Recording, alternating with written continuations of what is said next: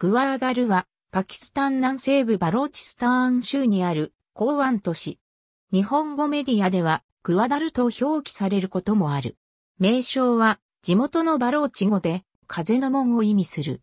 アラビア海に面しており、中国新疆ウイグル自治区のカシュガルに至る中国、パキスタン経済回廊及び、それを含めた一帯一路構想の要衝として開発が進んでいる。1797年、オマーン時代は自由港だったため輸入品が安かった。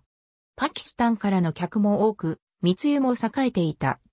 グワーダル港1783年にオマーン宮廷で内紛が発生し、セイドという王族が追放された。カラートハン王国のハーンが、セイドをクワーダルを領土とするスルターンとしたが、セイドは、その後、オマーンに帰国。1797年に、オマーンの国王に即位したため、クワーダルは、オマーンの飛び地領土となった。しかし1876年にグワーダルの周囲のカラート島の各王国が1891年にはオマーンがイギリスの保護国となり、英領インドの一部となる。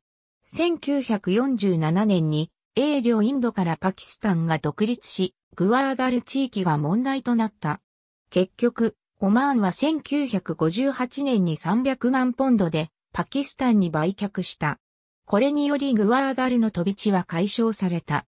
1998年の核実験でパキスタンが経済制裁を受けてグワーダルの新海港開発計画が中止になり、2001年に中国の主要機国務院総理が訪問して、当時のパキスタンのパルベーズ、ムシャラフ大統領とグワーダルの港湾建設で合意して2002年に開始され、2007年に完成したクワーダル港の40年間にわたる運営権は、シンガポールの PSA インターナショナルに譲渡された。2013年1月30日、パキスタン政府は PSA から回収したグワーダル港運営権の中国企業への移譲を認可し、同年2月18日の調印式には、パキスタンのアースィフ、アリー・ザルダーリー大統領らが出席した。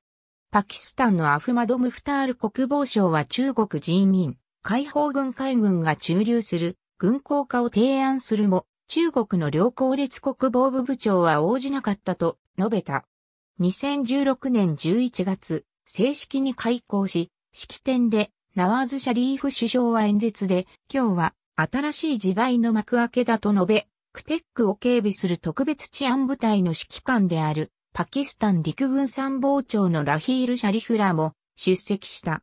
2020年時点、グワーダルのうち中国が使用する24平方キロメートルは安全確保のため有刺鉄線で囲む工事がバルチスタン州政府により行われている。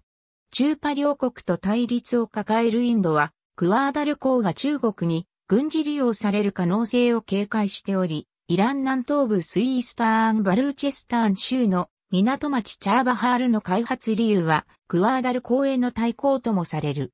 一方で、軍事的に密接な中パ両国と友好的で、イランに敵対的なサウジアラビアは、クペックの第三路パートナーとされ、インドがクペックを妨害していると批判していたラヒール、シャリフは、サウジアラビアによるイラン包囲網とされるイスラム軍事同盟の初代最高司令官に抜擢され、ムハンマド・ビン・サルマーン皇太子は、パキスタンと中国を訪問した際にグワーダルの製油所建設などの協力で合意した。2020年1月、アフガニスタン発着の荷物の取り扱いが中沿海運輸送箱運輸行使により始められた。